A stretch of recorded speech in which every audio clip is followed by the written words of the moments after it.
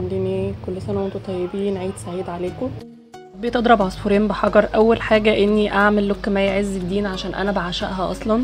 وحاجة تانية إني أكون عملت look للعيد للبنات اللي ما بتحبش ال eye shadow ما بتحبش طبقات كتير على البشرة. وتكون البشرة صافية يعني إن هي في بنات بتحب كده ذوقها بيبقى هادي وخفيف. فحبيت أعمل لكم ال look ده. أول حاجة عملتها إني رسمت حواجبها ب palette حواجب من BH ال palette دي جميلة قوي على فكرة و pigment وسعرها متوسط يعني يناسب كل البنات أو معظمها يعني. حواجب مي عز الدين في المسلسل كانت آه، غامقة شوية وكانت يعتبر مرسومة ب powder بس يعني زي أي بنت بترسمها. ويعتبر ال makeup artist كان قاصد إن هو يعمل كده عشان خاطر يطلعها طبيعية إلى حد ما.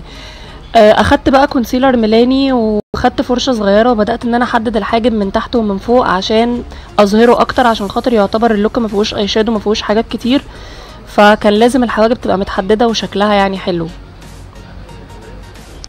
بدأت آخد من نفس ال concealer وأحطه على الجفن عشان خاطر أوحده.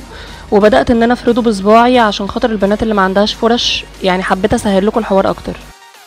وهنا بقى بدأت اخد بفرشة دمج كبيرة لون عسلي كده يعتبر زي لون الجفن أو أغمق شوية عشان خاطر أثبت ال concealer اللي أنا عملته عشان خاطر أنا لو سبته كده من غير ما أثبته ب powder أو ب shadow هيبتدي إن هو يدخل في كل الخطوط لما البنت تفتح عينها. ويعتبر هو اللون ده بس اللي كانت مي عز الدين حطاه على جفنها فعشان كده حطيته عشان برضو يبقى الجفن يعتبر فيه dimension أكتر أو أو لون كده مبقاش متوحد كده بس. هنا أخدت primer Luna.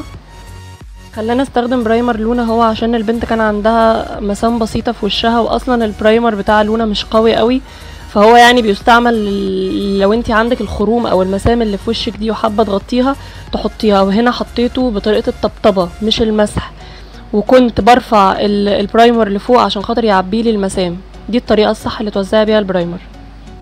هنا بقى بدأت آخد ال beauty blender وأمشي بيها على بشرتها عشان خاطر تمتصلي أي product زي ده من ال primer زي ما أنتوا شايفين هنا خلطت لها two foundations واحد من Milani والتاني من Kat Von D. Milani كانت الدرجة على أصفر و Kat Von D كانت الدرجة على orange فالاتنين عملوا mix حلو قوي مع بعض. آه، ومي عز الدين كانت طالعة في مسلسل رسائل كان باين إن هي حاطة طبقة foundation كبيرة أو التغطية بتاعتها عالية فعشان كده استخدمت ال foundations دول على الموديل. وبدأت إن أنا أوزع ال foundation مع اتجاه الشعر يعني من فوق لتحت. وب flat brush من e.l.f. ال brush دي حبيتها جدا لل foundation حلوة قوي زي ما أنتوا شايفين هنا بقى أخدت ال beauty blender ومشيتها على البشرة كلها عشان تشيل لي أي طبقة زايدة ال foundation سابها لي على البشرة وتداري أي خطوط ال brush عملتها على البشرة. وهنا بحط لها ال concealer آه خلطت two concealer مع بعض آه واحد من Make Up For Ever والتاني من Ever Beauty concealer Ever Beauty على فكرة أنا حبيته جدا وهتكلم عنه وعامل له فيديو مخصوص. هتكلم فيه بالتفصيل عن ال concealer ده فاستنوا الفيديو إن شاء الله بإذن الله. أه واللي خلاني أخلط لها ال concealer ده أو اللي بيخليني أخلط concealer و foundation هو إن أنا عندي كل الدرجات. فعشان كده بحب إن أنا أخلط الحاجات الألوان مع بعض عشان خاطر أوصل للدرجة المناسبة للموديل أو للبنت اللي قدامي. فأنتي أكيد يعني مش هتعوزي إن انت تخلطي وكده. وبدأت أحط لها ال concealer في الأماكن اللي أنا عايزة أنورها في الوش. فانتي مش لازم يعني تلتزمي بالحاجات اللي أنا بجيبها أو اللي أنا بستعملها للبنت ومش لازم تخلطي كذا درجة عشان توصلي لدرجتك. لا انتي أكيد ال concealer أو ال foundation هتكوني جايباهم درجاتك بس ال concealer لازم يكون أفتح من درجتك بدرجة زي ما أنا عامل كده للبنت عشان خاطر تقدري تنوري الأماكن اللي في وشك زي ما أنا منورها للبنت كده. وهنا بدأت آخد ال beauty blender بقى وبدأت أدمج. أنا بطبطب يا جماعة مش بسحب ولا بدوس جامد أنا بس بطبطب عشان خاطر أوزع اللون على البشرة.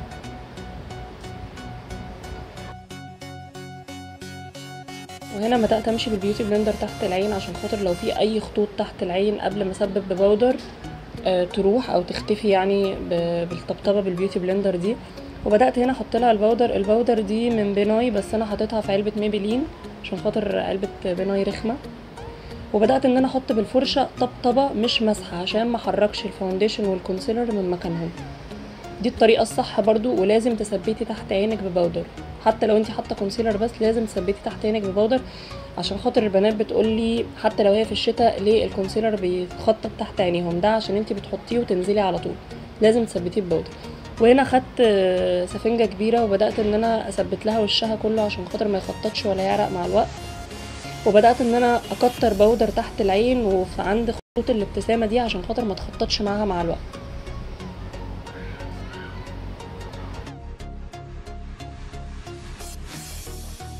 بعد ما نفضت البودر الزيادة اللي على وشها بأي فرشة عندك أخدت bronzer من من brand Too Faced ال bronzer ده أنا حبيته جدا جدا يعني الدرجة الوحيدة اللي حبيتها في ال palette هو آه خفيف بس بصراحة أنا ما عنديش bronzer الدرجة دي. ودي أسوأ palette أنا اشتريتها يعني ندمانة على كل قرش أنا دفعته فيها بصراحة.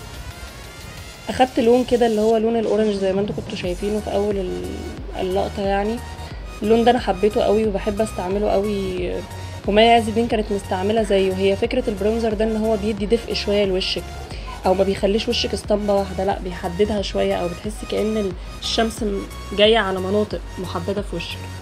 بدأت أحطها في الأماكن كده اللي هي عند الخدود والمراخير وعلى القورة ومن تحت. عند الفك وبعد كده بقى خدت من palette Anastasia بتاعت ال shadow نفس الألوان يعتبر اللي حطيتها فوق العين.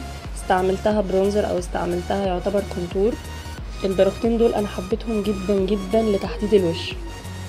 والبراش اللي استعملتها الفرشة اللي استعملتها كانت ال- اللي جاية مع Too Faced اللي هي ال palette اللي أنا كنت لسه مستعملها من قبل.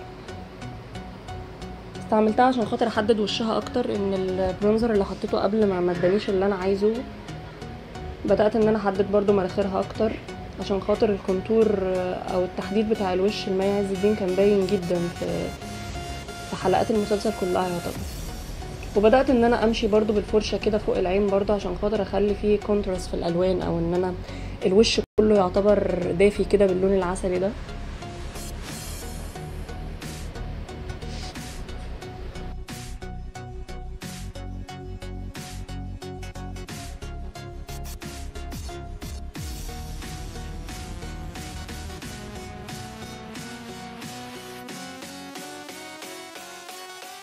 ونيجي بقى لأهم خطوة المسكرة. الموديل كانت رموشها آه، نازلة لتحت.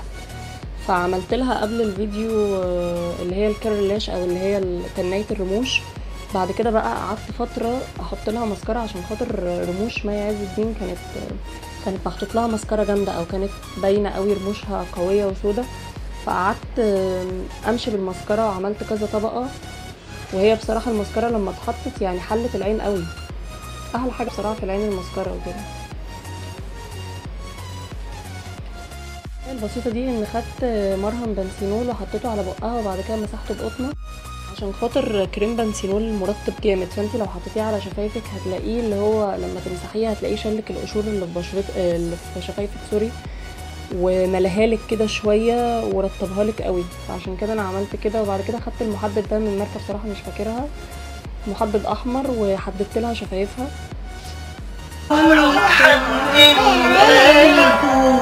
أنا محتاج له ويايا اعيش باقي الحياة جنبه قولوله تعب قوي كفاية